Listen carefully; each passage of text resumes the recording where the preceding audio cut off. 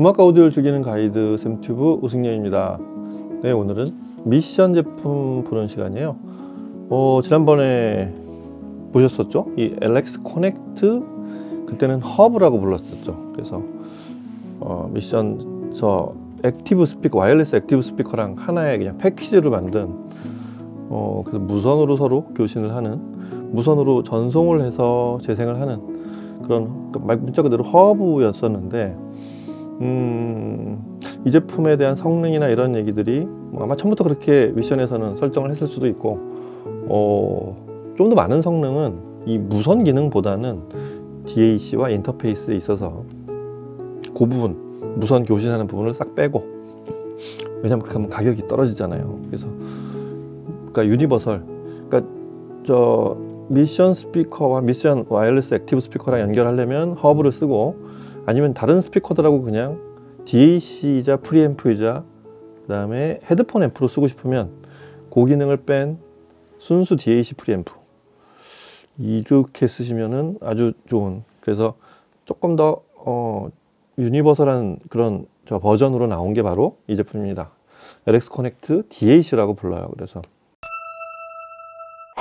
네, 뭐 지난 시간에 설명드렸듯이 미션이 한동안 잘 안 보였었죠. 그러고서 이제 새로운 제품들 그리고 중요한 거는 어, 미션이 벌써 이제 50년이 된 회사잖아요. 그래서 그런 제, 전의 제품들의 어떤 heritage 버전, 그 다음에 뭐 리, repack이라고 할 수는 없고 하여튼 전의 제품의 기념작들, 이런 anniversary 제품들, 이런 제품들이 지난번에 700 같은 제품이 그래서 그, 그런 저기로 그 미션의 원래 그 오래된 아주 전통이 있는 이런 걸 기념하면서 만든 제품들이었잖아요. 그런 제품들이 좀 활발하게 나오고 있어서 어, 미션 제품을 아는 분들은 사실은 꽤 하이파이를 이르게 시작했던 어떻게 보면 저보다 조금 연배가 있는 분들이 잘 알고 저는 그 미션에 약간 흐린 기억이 있는 그런 사람이라서 미션의 정작 아주 가장 그 미션이 화려했던 시절의 제품을 실시간으로 어, 어저께 출시한 거를 오늘 들어보고 이런 그런 세대는 아니라서 그런 아주 제일 좋았던 시절은 좀 약간 기억이 흐리거나 시장에서 본 정도인데 원래는 그 스피커 회사로 시작을 했죠.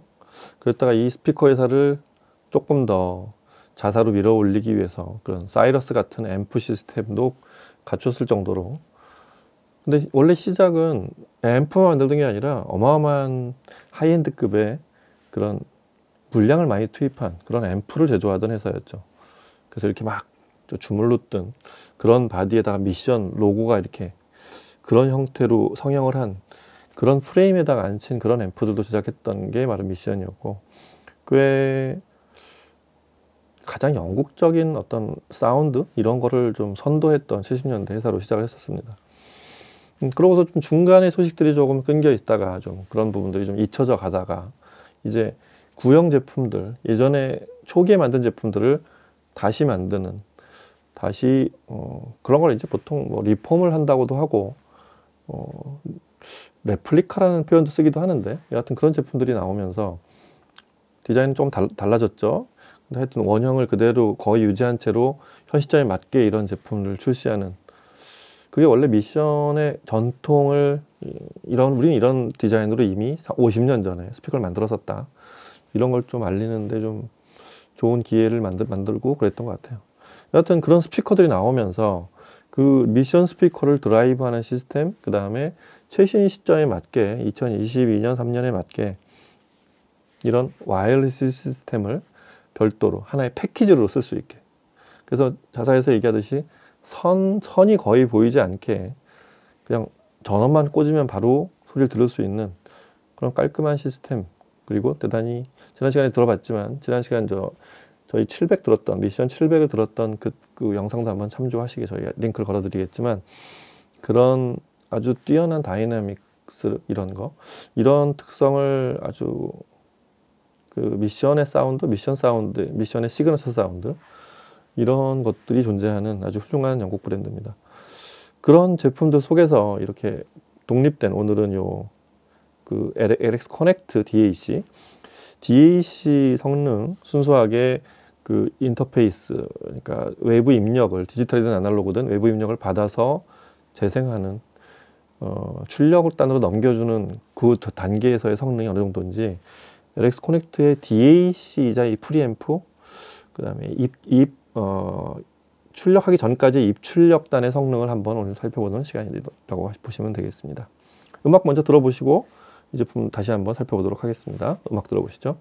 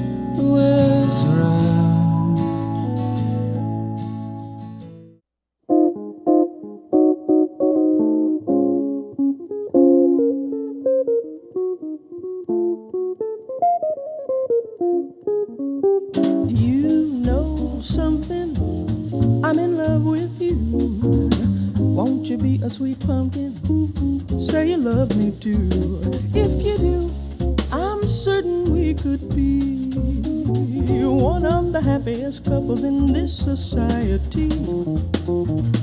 I got a feeling that I'm just your style. Go on and admit it, and we'll walk that aisle. Don't be shy, just put your arms around me, and you'll get plenty of loving. Just you wait and see. Can't you tell we were meant to be together? And a wedding bell would be ours to ring forever and ever. Let's make a bookend just to be man and wife. Say yes, good looking. Let me share your life. You're to me everything that is divine. So won't you be a sweet pumpkin? Say that you'll be mine. You- 네, 오늘 시청은 어, 이게 같은 수입원인데 오히려 이 제품이 좀 더 눈에 들어오죠.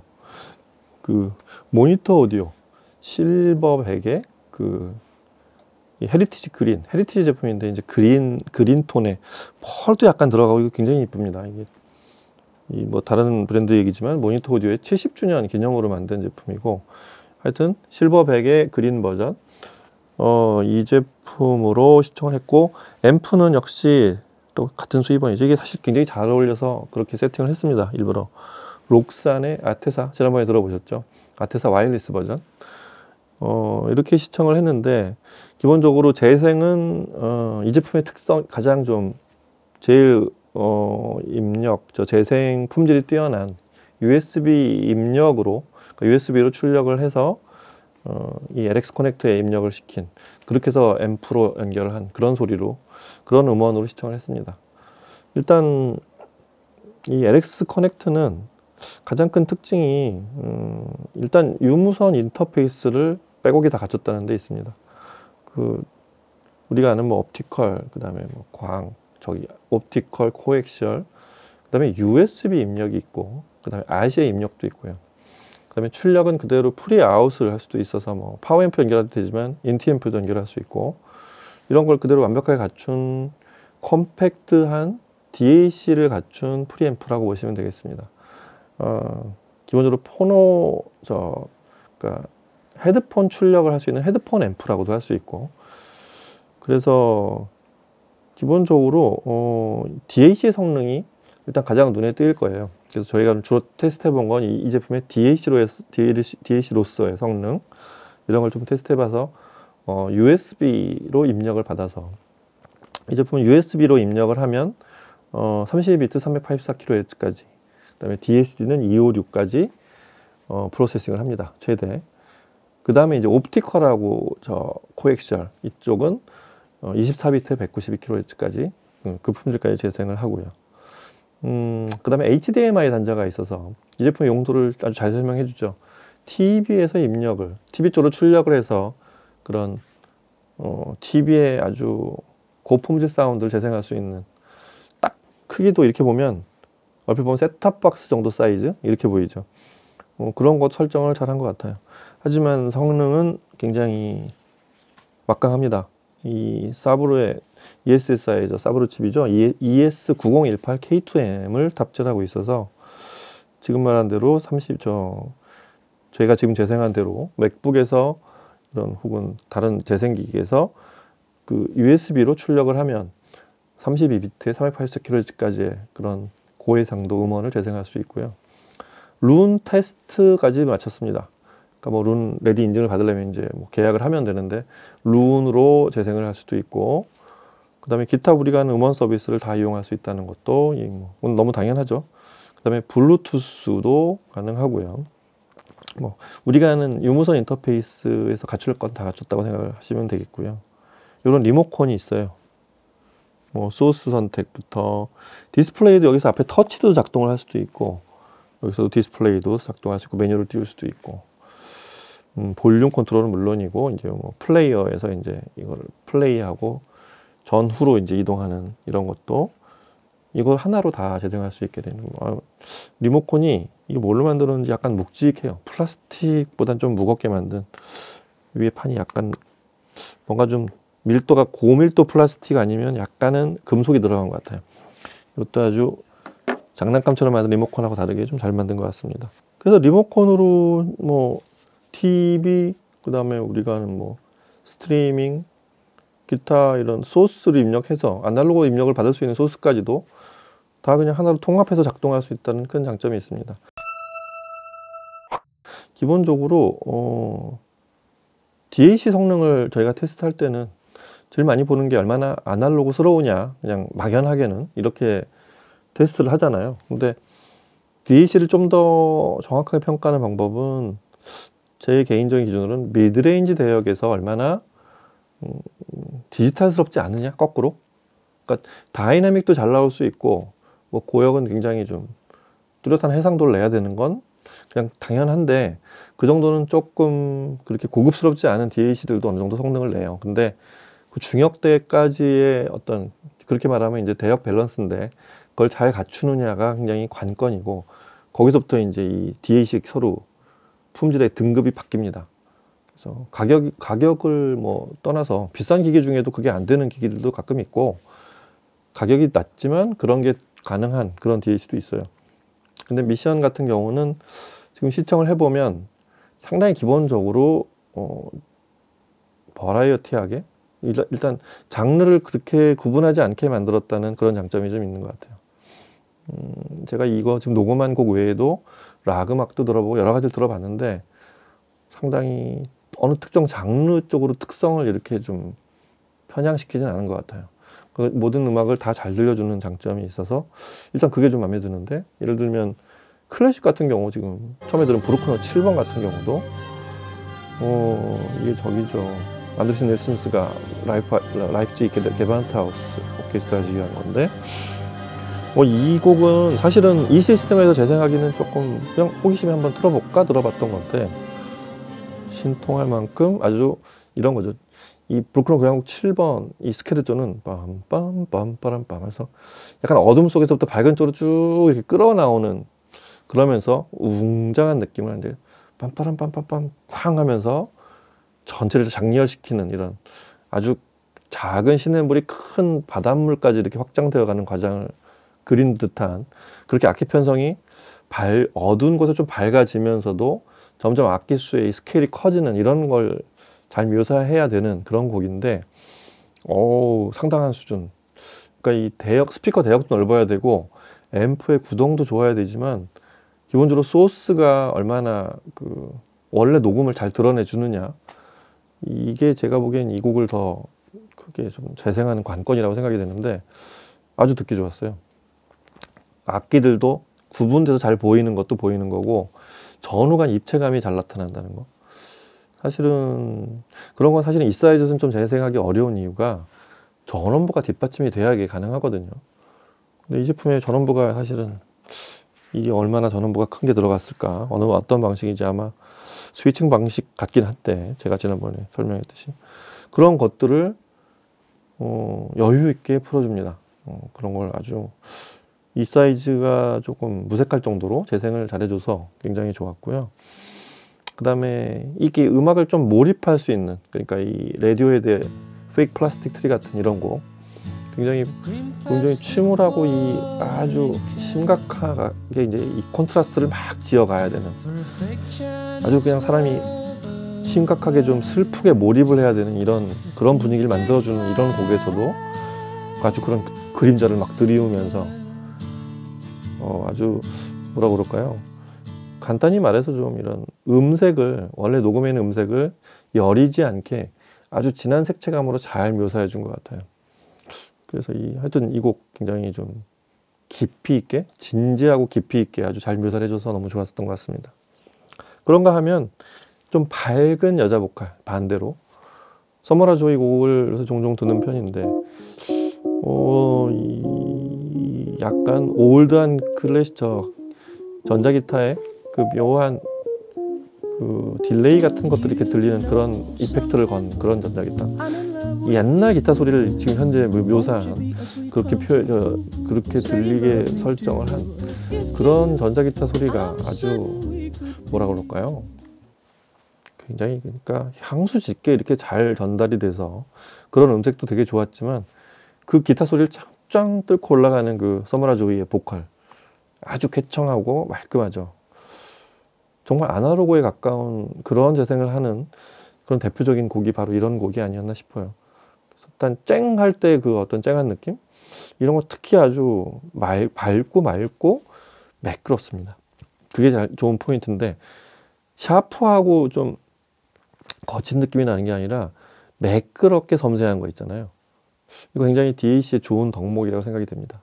그러면서도 dynamic이 떨어지지 않고 선명하게 묘사해주는 어, 이런 세 곡을 세 곡 녹음한 세 곡만 들어봐도 어, 이 사이러스 LX Connect DAC의 성능이 생각보다 어, 이렇게 셋탑 박스처럼 보이지만 어라 하는 그런 소리가 나올 만한 성능을 보여준다는 게 어, 지금 음악 몇 곡을 들으면서 바로 드러납니다.